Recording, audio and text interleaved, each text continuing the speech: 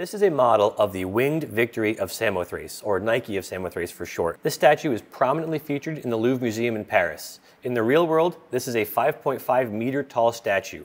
On my screen, this is an 11 and a half inch tall mesh file with over 5 million facets.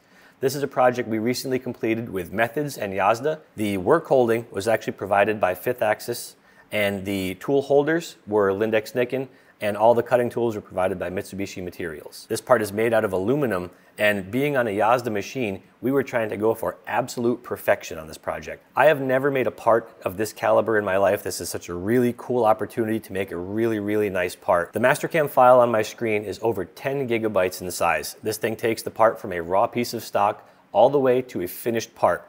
In Mastercam, I used a one micron tolerance for all the finished toolpaths with a one thousandth of an inch step over. This Mastercam file is an absolute monster. And in the following series of videos, I want to show you some of the really cool Mastercam tools that we used to make this part.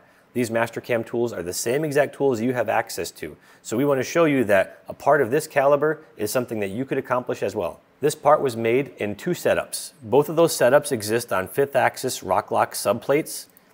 In operation number one, we basically finished the bottom of the part. We can see this is currently on a Rocklock base on the pallet of the YASDA machine. Here we're installing four more Rocklock pull stud features. There's some engraving that helps us orient the part correctly inside the machine for op number two. Then we flip the part over for op number two. This shows the actual finished item. Basically, this is the operation one finished. So this is the starting stock of operation number two. To make this part, we have about 250 operations across setup one and setup number two. Because of the interesting shape of the Nike part, we had to be really careful about how we handled our material. So if we take a look at some of the stock models we have here, we can see that we had to really kind of remove material carefully, keeping structure in places that needed some structure because the wings and the back of the dress are some really, really delicate pieces. We have to maximize rigidity on this part so we have the best opportunity for creating a great surface finish. We don't want to have any chatter. We can't have these thin features wobbling around. We need everything to be really stiff and rigid so we can have the optimal surface finish. As we progress down this part, we can see we sort of work from the top down to the bottom. We want to try and keep the bottom of the part braced as much as we can. And this is not a case where we rough the entire part out and then finish the entire part. Here we do a lot of rough and then finish, rough and then finish.